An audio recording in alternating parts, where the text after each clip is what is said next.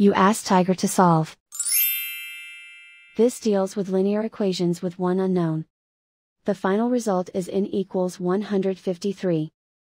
Let's solve it step by step.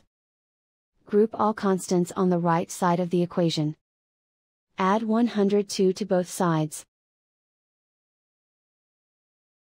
Simplify the arithmetic.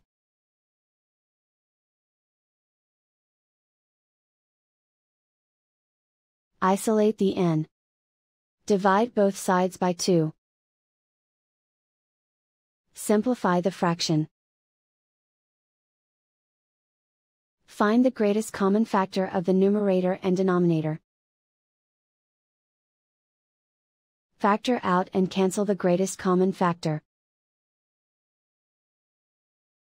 And so the final result is n equals 153.